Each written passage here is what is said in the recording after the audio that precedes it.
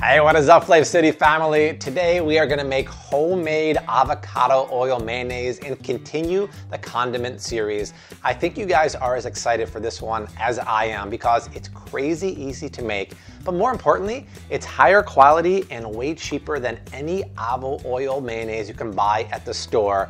We just need a couple ingredients and it only costs under $3 to make homemade avocado oil mayonnaise that you're gonna love. So before we rock this super duper easy recipe, hook me up. Subscribe to my channel because every single week, sometimes twice, sometimes thrice, we're rocking out the best recipes, the most healthy recipes on YouTube, and I would love for you to join the Flav City community. All right, unlike any avocado oil or any kind of mayonnaise you can buy at the grocery store, this one starts with one pasture raised egg yolk. Why is that so important? We've talked about it in every haul video. Pasture raised eggs taste better, they have higher nutrition, and they're from chickens that actually go outside. I don't care about cage free. Many of these expensive mayonnaise labels say cage free, free range. That's a marketing gimmick. And there's gonna be more about that soon because me and my friend Paul are gonna make an egg video that debunks all the myths and rumors out there and all the labels. So one egg goes in there. Let's measure in half a teaspoon of really good salt. This is uh, this real salt that people seem to be really excited about.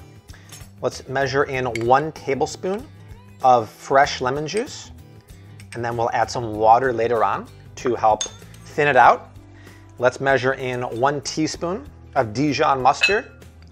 I do wanna beat up the egg and get the party started. Just whisk that together.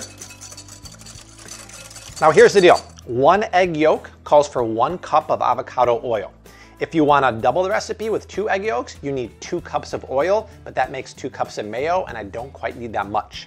Now, this is where it gets a little tricky or time consuming. You can use the blender per se. You can use this little gadget I have here called the immersion blender, or what would Emerald call this art? Boat motor. The boat motor, okay? But the real old school way to make it is by hand and you're basically trying to emulsify fat into fat, which doesn't really want to happen, which is why you have to drip, drop, and drizzle this in very slowly, at least for the half, first half of the cooking process, or the first half of the whisking process. Because if you do it any quicker, and trust me, you're gonna wanna do it quicker because you're gonna get antsy and tired, you're gonna break the mayonnaise. So if you're doing this in a food processor or by hand blender, you have to do it at this pace too, any quicker and you're gonna break it. Dessi's gonna be my official pourer. And Dessi kind of has a penchant of going quick. And I always have to tell her, slow down. So that's the stream you want right there. Check it out, Art. Anything more than that, I would go less, babe. A little less. It's fine, babe. And I have the bowl on a silicone placemat here, so it's not running around. And this is it. You're emulsifying fat into fat. And I'm gonna check it for seasoning about halfway through and maybe add some water to thin it out. This will stay in the fridge for about five to seven days. And once you have this base, you can make any flavorings you want. So imagine roasted red pepper, uh, mayonnaise, chipotle mayonnaise, sriracha mayonnaise. It's really Aioli. aioli. Yeah, once you start doing that, it's the French version, the aioli.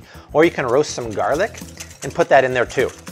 Aioli means with garlic, right? That's true. Very good one, Dessi. It does mean with garlic.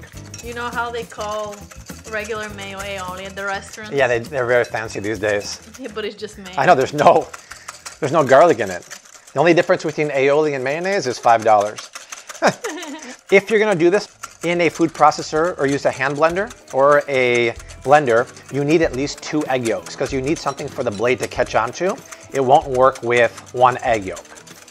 And you have to work a little faster with the food processor oh, because Oh yes. Uh, the heat from the blade is going to just scramble your uh, mayo. Yeah, the heat from the engine. It's a little too. trickier. Uh, the safest way I think to make mayo is this method.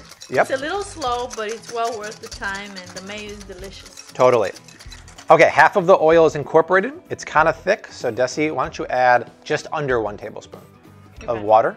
Remember, you could always add more water later on, but you can't take it away. See how that lightened up really nicely? That's good. And during the second half or the last half of the mayo making process, you can get a little more aggressive with your pour because the emulsion has really started and it's strong. and the likelihood of it breaking now is very, very low. If you guys are worried about eating a raw egg yolk, you can buy the pasteurized eggs, and it's safe to eat raw then. Yeah, and it will last longer in the fridge. Ah, good point, yes. And it's better to use a room temperature egg for uh, making the mayo too, but if you forget, don't worry about it. This is too thick for me, right? A little too thick, so Dessi, why don't you add a half tablespoon more of water? Beautiful, right? Creamy, delicious, healthy avocado oil mayo made with pasture raised eggs. It makes exactly one cup and it costs uh, $3. Less than three dollars. It actually costs just under $3. If you wanted to make or buy one cup of store-bought avocado mayo, it's $6.66. So under $3 versus $6.66.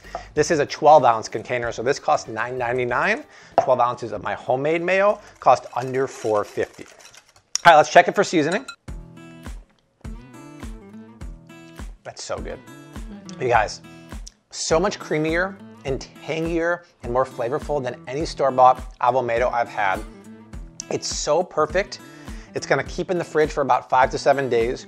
You can't freeze it, but man, smearing that on sandwiches and using that, what else can you use it for? Your chicken salad. Oh yeah, you guys, I have a curry chicken salad and keto chicken salad with cloud bread bun. Use this for the dressing. It is gonna be next level, better than any chicken salad you've ever had. And the roasted cauliflower salad. The roasted keto cauliflower salad with broccoli and uh, cauliflower served with fennel spiced chicken thighs. That's it, you guys. There it is. Secret sauce. Oh yeah, my homemade secret sauce recipe for the keto shrimp burgers with uh, mayo, ketchup, relish. So totally bomb if you use the homemade mayonnaise. But that's it. Super simple. Um, we did not need to make this video this long, but we're just bantering and having a good old time. You can make this in no time. Stop buying the overpriced store-bought Avo Mayo. Make this with the recipe down in the description box, along with the macros, all that good stuff. Share this video. Check out the other videos in our condiment series, Keto Ketchup and Keto Barbecue Sauce. Pretty soon, Keto Sugar-Free Dill Relish.